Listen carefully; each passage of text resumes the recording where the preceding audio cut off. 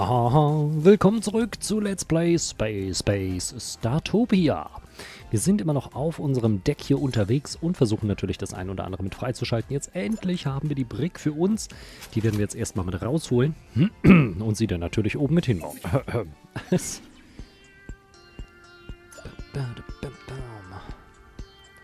10.000 Energie ist nicht besonders viel, das geht, das können wir uns leisten und wir brauchen ja nicht so viel Platz zu lassen, das ist ganz praktisch. Brauche ich hier eigentlich noch irgendwas, was Sauerstoff produziert? Wir haben dort was, dort was, nö, das geht eigentlich. Vom Sauerstoffgehalt her müsste das ausreichen und dann können wir auch endlich die Aliens einsperren und für immer wegsperren. Na, wieder was. Reisender Doktor im Orbit. Ein reisender Doktor möchte unsere Leute behandeln, soll er machen. Für 1000 ist das völlig okay. Hier vorne haben wir unsere Station. Ich hoffe, uns greift diesmal keiner an, denn ansonsten haben wir schlechte Karten. Wir haben wieder noch ein Einer bisschen... Ihrer Besucher ist verstorben. Ihre Einheiten Ah. kämpfen gerade Commander. Wo denn das?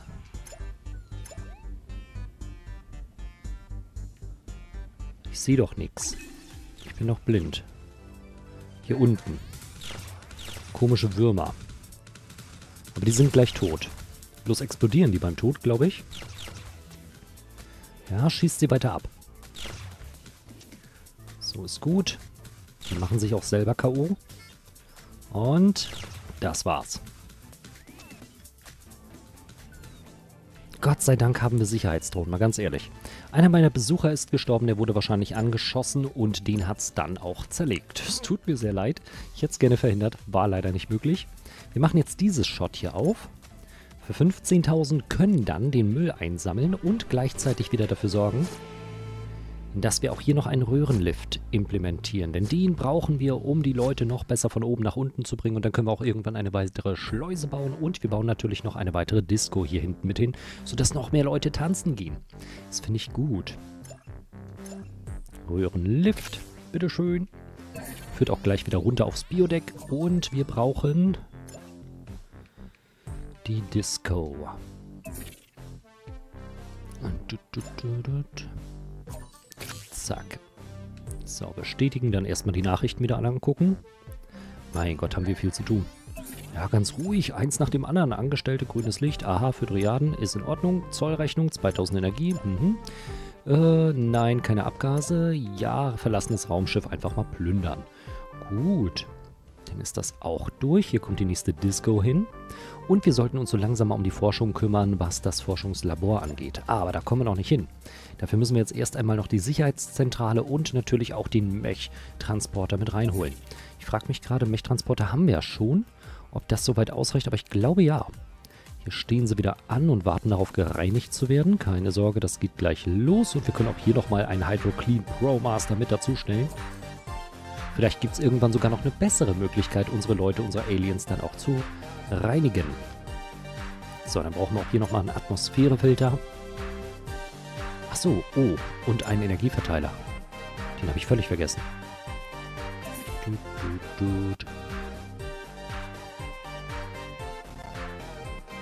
Hm, leckt ganz schön.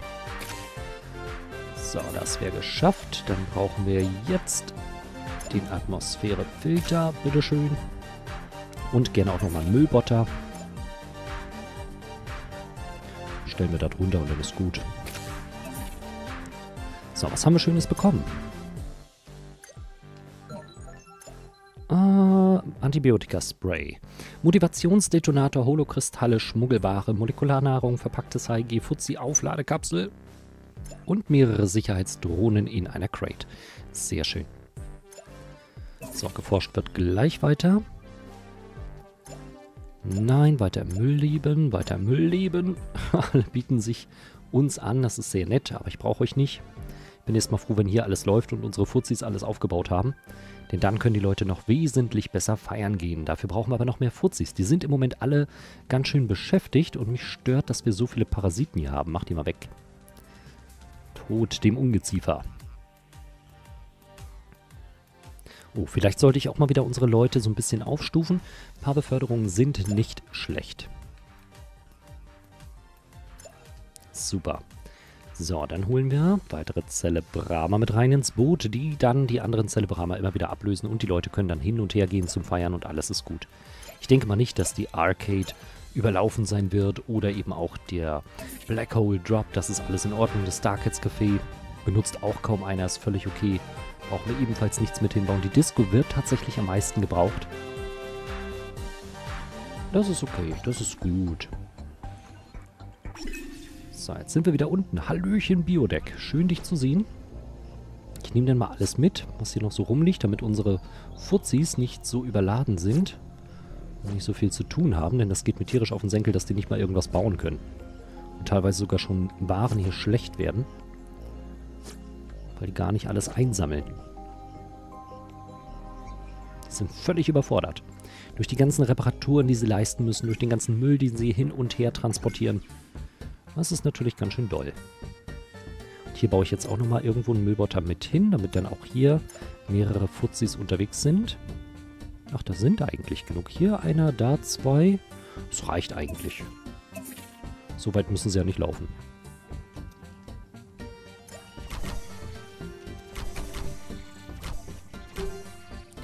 Gut, der Rest kommt in die Recyclingstation.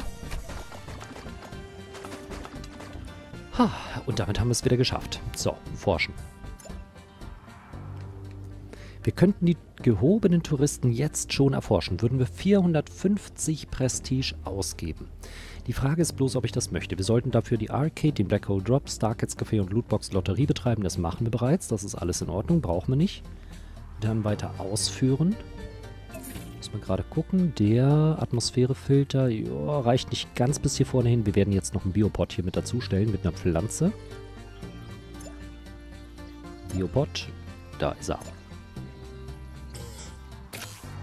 So, dann müssen wir aufs Biodeck selber. Und eine Pflanze mitnehmen. Dankeschön. Gerade Nein, ich möchte ist ein Besucher auf Startopia gestorben. Ach, wo sind die denn Ihre schon wieder am Kämpfen? befinden sich im Kampf. Schon wieder hier oben. Wir sind den ganzen Tag hier oben bei. Was ist hier los? So, das Grab nehme ich jetzt mal mit. Kann ich nicht mitnehmen? Nee, offensichtlich nicht. Warum nicht? Es muss wahrscheinlich von einem Fuzzi weggetragen werden. Wo auch immer der das hinträgt, das ist mir eigentlich mehr oder weniger egal. Könnte mal jemand diese Made hier kaputt machen? Danke. So, okay. Dann haben wir hier die nächste Nachricht. Ein Schiff mit erkrankten Aliens. Nein, die kommen nicht an Bord. Alles ist gut. Wo kommen diese komischen Maden her? Und wie können wir verhindern, dass die andauernd wieder erscheinen? Die kommen erst seit wir die, das nächste Shot aufgemacht haben. Das ist so fies, das ist so gemein. Aber ich habe meinen Baum. Das andere ist mir egal. LA. So, zack. Dann haben wir auch hier Sauerstoff, alles ist gut. Da werden noch Leute ins Gefängnis gesperrt. Endlich machen wir das auch. Theoretisch bräuchte ich noch mehr Sicherheitsdrohnen, dass noch mehr Leute dann auch weggesperrt werden. Das heißt, wir packen die jetzt einfach mal aus, zumindest die, die wir gefunden haben, in den jeweiligen Raumschiffen.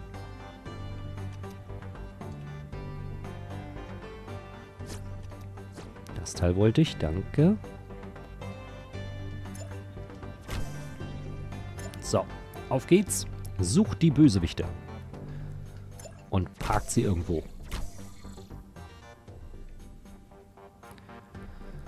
Ach, da sind noch mehr. Hui, sehr nice. Vor allem ist dann auch die Abwehr wesentlich größer, wenn 20 Sicherheitsdrohnen auf einmal unterwegs sind. Wollt ihr nichts machen? Könnt ihr nichts machen? Braucht ihr irgendwelche Befehle? Fliegt ihr nicht einfach so durch die Gegend? Macht ihr das nicht? Doch, jetzt. Es hat eine Weile gedauert. Jetzt scannen sie. Wunderbar. Okay, die anderen sind auch gleich unterwegs, werden sich darum noch kümmern.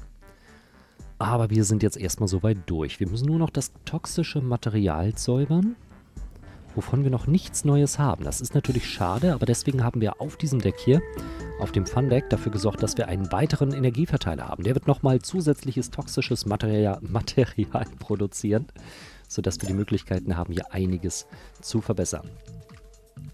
Die Eureka fehlen uns weiterhin, das ist nicht schlimm. Wir nehmen die Celebrama mal raus, damit wir sehen können, wen wir jetzt als nächstes aufstufen dürfen. Und das sind doch schon wieder einige bereit. Sehr gut. Jede Menge Hingabe von all den Leuten, das ist hervorragend. So, dann kommt hier ein neuer Hydro Clean Pro Master mit dazu. Außerdem könnten wir noch einen weiteren Snackomaten mit dazu stellen. Und Schlafkapsel, Hotel. Wir haben eins hier unten irgendwo, ne? Ne, das ist hier hinten. Ja gut, das würde sich hier dann eignen.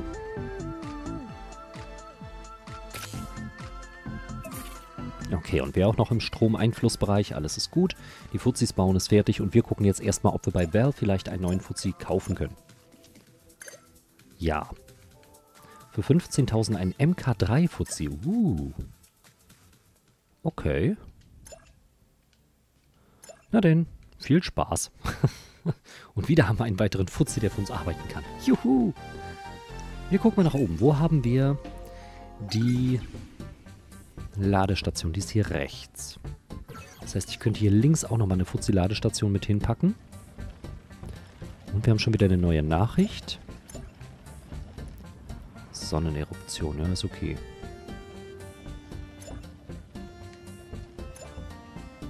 Passt das hier rein? Wahrscheinlich nicht. Nee, ist zu groß. Okay, dann mach das doch mal hier in die Ecke. Ich glaube zwar nicht, dass die hier irgendwo versagen werden. Wenn, dann können sie auch hier hinlaufen, aber ist egal, wir haben es. Alles andere ist egal. Gut. Dann werden wir jetzt die gehobenen Touristen erforschen und gucken, was als nächstes kommt. Commander, Sie haben es mittlerweile geschafft, die richtige Kategorie freizuschalten. Vermutlich ist dies für eine Kohlenstofflebensform eine akzeptable Leistung. Sie müssen nun noch den Raumhafen freischalten, damit fortan Handelsschiffe an ihrer Startopia-Basis andocken können. Ja, die 5000 gebe ich aus, damit der Inspektor nicht die Recyclingstation lahmlegt. Es befindet sich ein Leviathan-Händler im Orbit. Wenn wir ihn an unseren Raumhafen andocken lassen, kann Handel mit ihm betrieben werden. Können wir nicht, wir haben keinen Raumhafen. Den haben wir bisher noch nicht gebaut. Aber wir können nochmal bei Val gucken, was es dort Schönes zu kaufen gibt. Vielleicht wieder ein Fuzzi. Nein, aber dafür einen Mech-Transporter und eine Fabrik. Beides brauchen wir nicht. Wenn, dann würde ich eher die Forschungsstation nehmen. Zumindest haben wir jetzt die Eureka. Und die Eureka, die kommen jetzt hierher und wollen natürlich ebenfalls feiern. Waren die nicht schon vorher da? Ich glaube ja.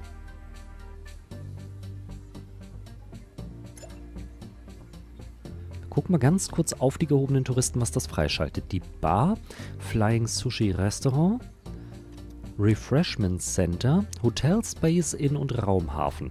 Wir haben natürlich nur den Raumhafen und das Labor, das Forschungslabor. Das ist alles, was uns zur Verfügung gestellt wird. Und oben schaltet es frei die Hemnetia, das ist auch nochmal eine neue Spezies, die sich mehr um Religion kümmert. Und den Sumpf, den können wir jetzt endgültig als Terrain auch unten im Biotech festsetzen. Das heißt, wir können uns jetzt wieder mehr um Medizin kümmern. Brauchen wir nicht, wir hatten ja genug Medizin, alles ist gut. Commander, wir haben ein Notsignal. Ja, komm, denn flieg hin. Ich nehme jetzt erstmal das ganze Essen hier raus. Das ist mir viel zu viel. Verstopft nur unser ganzes Inventar. Nee, das nicht. Ach, verdammt.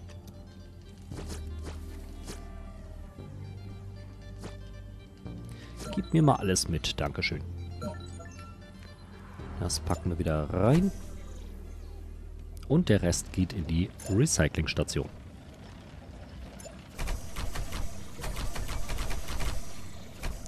Super. So, nächsten Nachrichten. Wieder Abgas. Und ich werde langsam heißer. Ich glaube, das wird dann auch die letzte Mission sein, die wir jetzt heute machen. Danach muss ich erstmal wieder Pause machen. Hier sind noch die restlichen Fuzis. Ich möchte sie gerne ausbauen. Aber dafür brauchen wir das Forschungslabor und dementsprechend auch mehr Prestige, um es überhaupt erst bauen zu können. 500 Prestige ist nicht gerade wenig. Nein, ich möchte keine kranken Aliens an Bord holen. Was ist los mit euch? Well Shop, den lassen wir mal nebenbei auf. Vielleicht kriegen wir noch was Schönes. Fuzzi MK2 kaufe ich jetzt einfach mal, weil wir es können. Und das ist sogar ein Forschungslabor. 46.000 brauchen wir dafür. Wenn wir ein bisschen Prestige ausgeben, könnten wir es einfach bauen. Wir brauchen es ja dann nicht erforschen. Wozu? Ja, geil. Dann kaufen wir die Fabrik. Forschen sie einfach. Sowie die Akkus. So, dann können wir es nämlich im Bellshop kaufen. Dann brauchen wir keine Forschung durchführen. Dankeschön. So, neuer Fuzzi. Auspacken. Forschungslabor. Äh, ich wollte es ja nicht wieder einpacken. Einmal Y, genau, und dann auspacken. Wo packen wir es hin? Das ist die Frage. Allzu viel Platz ist nicht mehr, aber hier geht's. Da kommt dann auch der Robo Roboter, der Mech, noch super durch. Alles ist gut. Ihre Wertungsumfragen sind exzellent, Commander. Oh ja, mit 91% bin ich sehr zufrieden. Herzlichen Dank dafür. An unsere wunderbaren Besucher. So, und dann können wir auch ganz in Ruhe unsere Eureka einstellen. Eine gute Wahl, eine Forschungsstation zu errichten, Commander. Sie sollten diese auch mal besuchen. Vielleicht lernen Sie daraus etwas. Ach, Val, ich liebe dich auch.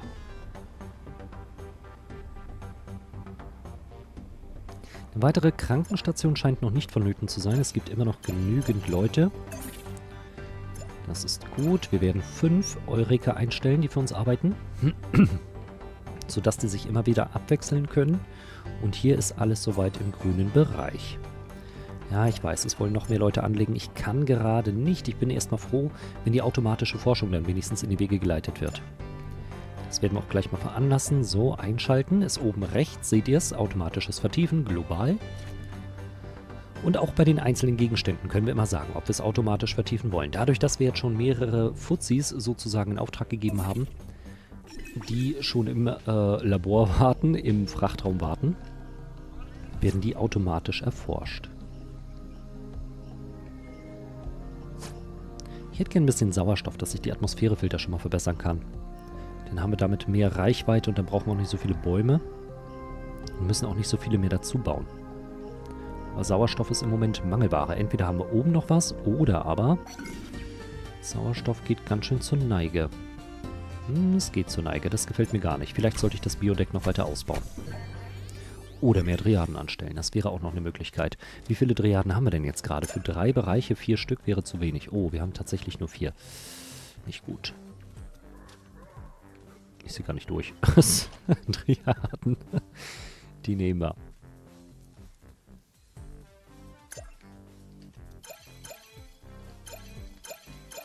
So, das muss reichen jede Menge Triaden, die jetzt für uns arbeiten. Was ist los? Galaktischer Zollbeamter in Anflug? Ja, ja, ja, ist okay. Oh, ich habe gar keine Energie mehr. Wo ist meine ganze Energie hin? Ach ja, stimmt, die haben wir ja fürs Forschungslabor ausgegeben. Und das musste ja auch noch gestartet werden. Aber jetzt sind sie schon bei. Jetzt bearbeiten sie das ein oder andere. Ich denke mal, dass das hier eine Akkufarm ist. Okay, das heißt, die Akkufarm wird jetzt gerade verbessert. Dann werden sie als nächstes auch die Fuzis erforschen. Dann müssen wir nur noch den galaktischen, intergalaktischen Raumhafen fertig machen. Den können wir jetzt schon mal fertig bauen.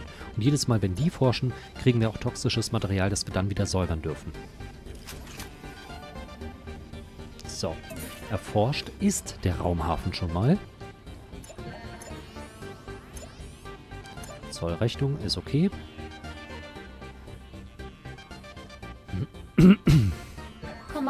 Ihre hm. Wissenschaftler haben soeben eine Forschung vertieft. Ich hätte ja nicht gedacht, dass Sie sich die Vorteile der Forschung gemerkt haben. Doch, doch, definitiv. Definitiv vertieft. oh Gott. Einer Ihrer Besucher ist verstorben. Ach, ja, es wird Ihre wieder gekämpft. Einheiten kämpfen gerade, Commander. Ich weiß, dass die immer gleich auf die Besucher gehen. Das finde ich ja total doof. Zeig mal. Und wieder hier.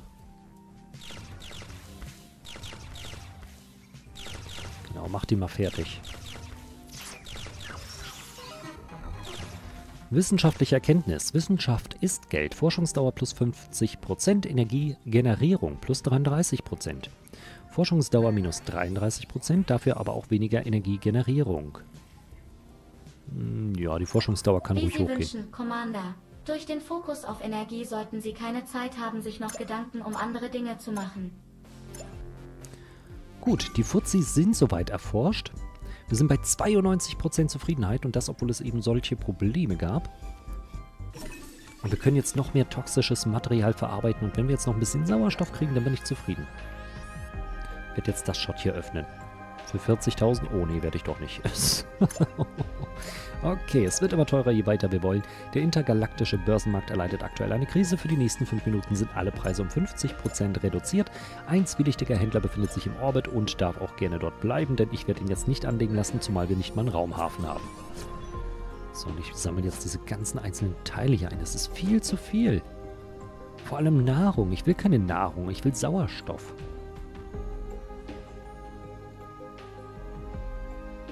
Glaube, ich werde mal irgendwo Sauerstoff einkaufen. Wir müssen bald den Raumhafen bauen. Aber zuvor will ich noch das ganze ges äh, äh gesäuberte Material haben. Schön, dass ihr so viel forscht. Dann kann ich wenigstens das Zeug hier schon mal mit reinpacken.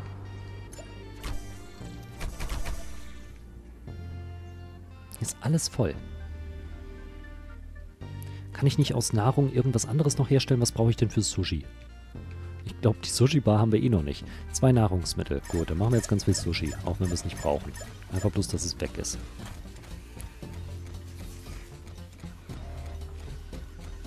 Und als nächstes möchte ich toxisches Material verarbeiten. Vielleicht kauft uns ja irgendjemand am Raumhafen auch Sushi ab.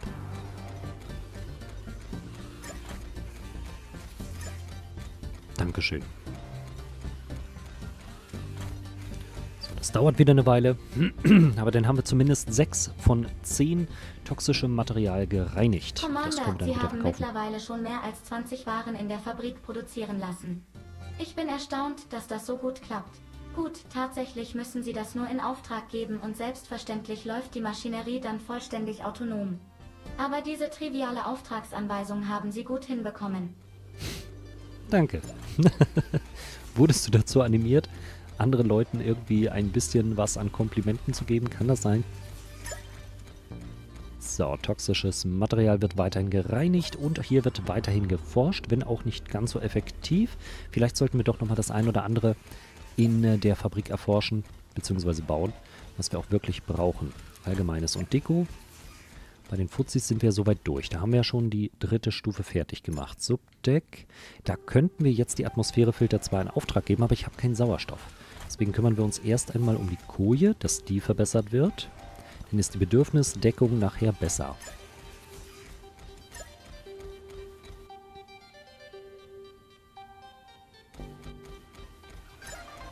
Gut. Läuft. Dreimal verbessern. Was bringt uns das? Wir drücken RA und gucken einmal in die Koje an sich. Pro Stufe 10 Bonusenergie für jedes positive Rating durch die Koje. Stufe 4 Haltbarkeit Verlust minus 50% und auf Stufe 6 alle Kojen Gimmicks befriedigen ihre Bedürfnisse 25% mehr. Das ist also sehr gut, um die Leute hier oben schon sehr zufriedenzustellen. Fuzzi bringt erstmal die ganzen Sachen weg. Gut so. Ja, ihr habt jetzt viel zu tragen. Hier, noch mehr Sushi. Überall Sushi. Ihr forscht noch nicht weiter. Das liegt auch unter anderem daran, dass wir die Koje noch nicht haben. Aber es wird ja noch weiter produziert. Es wird ja noch weiter getan. Jetzt sind sie gerade beim letzten Sushi bei.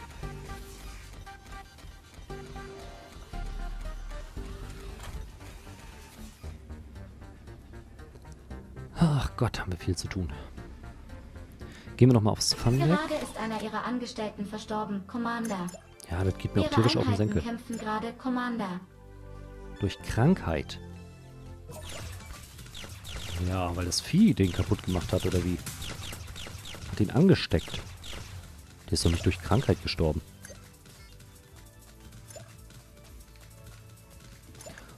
Oder ist seine Leiche etwa zum Zombie geworden und greift jetzt alle anderen an?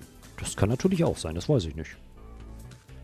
So, hier wird gefeiert, da wird gefeiert. Die Disco wird komplett betrieben. Die Arcade wird kaum genutzt. Der Black Hole Drop ist auch noch relativ frei. Das heißt, eigentlich brauchen wir im Moment nur die Disco. Sammeln noch das ein oder andere ein, was hier so rumliegt. Ach, bei der Lootbox-Lotterie wird auch toxisches Mal äh, Material produziert. Sehr interessant. Gut zu wissen.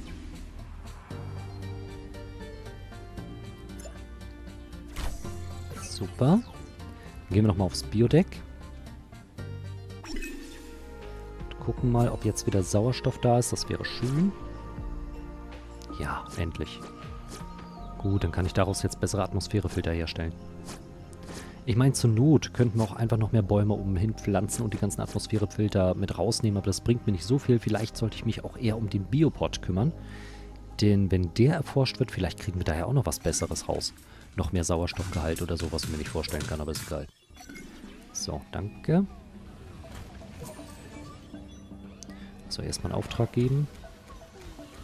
Hier wird weiter produziert. Die Maschine, die mal läuft, die macht und tut. Eins, zwei, drei. So, dreimal verbessern. Und den Biopod. Das wäre bei Allgemeines und Deko. Gib den schon mal in Auftrag. Braucht auch Sauerstoff. Ah, nee, den gebe ich dir noch nicht in Auftrag. Das machen wir dann später, wenn wir die Atmosphärefilter verbessert haben und dort keine Krankheiten mehr entstehen können.